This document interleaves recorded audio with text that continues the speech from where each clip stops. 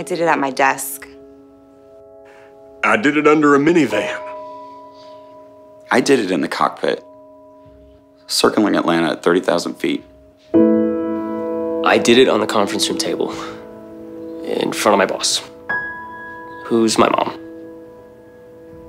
Don't draft at work. Hold your fantasy football draft at Hooters. Book now at hooters.com/slash football.